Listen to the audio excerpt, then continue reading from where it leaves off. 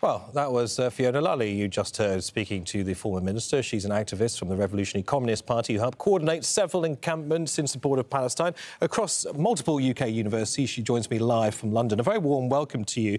So, look, just to give that uh, exchange uh, a bit of context, you had been invited onto GB News. It is been described as a right-leaning uh, channel. Suella Braverman, definitely right-leaning uh, herself. The assumption was that this would be a mauling of your political views, but the other ended up being true. What was your experience of that exchange? Yeah, definitely. And the reason I went on is because when you watch the news in the UK, BBC News, Sky News, it's like being gaslit on a monumental scale. And I felt like it was important to go on there to say the truth of what is happening and expose these people for what they are. They're getting away with murder.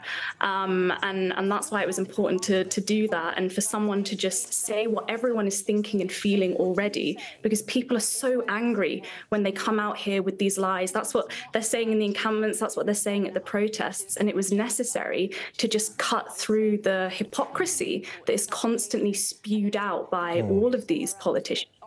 What is your exchange with Suella Braverman? Also, for a bit of context, I mean, this is a, a former minister who was fired precisely for her handling of these uh, pro.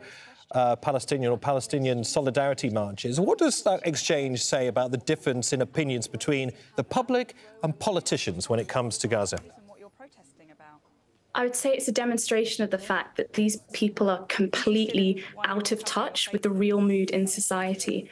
Palestine has become a lightning rod for all of the accumulated anger that young people and workers have towards the establishment. And it's becoming so apparent to people that this is no longer a question of just individual politicians, although Suella Braverman is a particularly hateful one um, that a lot of people have a lot of strong feelings towards.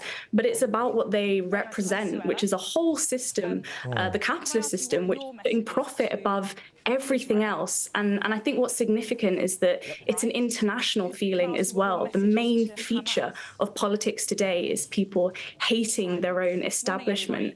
And, and that's why the Revolutionary Communist Party is, is organized actually internationally mm. and is, is trying to sections all over the world for people to channel that anger right. um, actually into a Revolutionary Communist International, which we're launching in June, on the 10th of June. Right. Let, let me um, focus on something that happened in that exchange with Suella Braverman as well, because you said something quite powerful. You said that you believed you had the power, along with others who uh, ascribed to your opinion surrounding the war in Gaza, the power to bring down this government and a future government.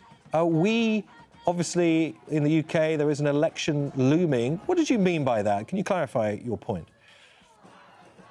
What I mean is that these encampments are just a, a, flashpoint, the spark of what could become a much bigger mass movement. I think to take down war criminals or any government um, enacting war crimes or facilitating those, we need to mobilize students, yes, but ultimately workers. And I think workers should um, go on strike. We should look at all of the industries that are taking part, facilitating, investing in the Israeli state, in the IDF, in any form. And workers have the power to stop that. We can stop the transport of, of money, of, of weapons, and also political support to Israel.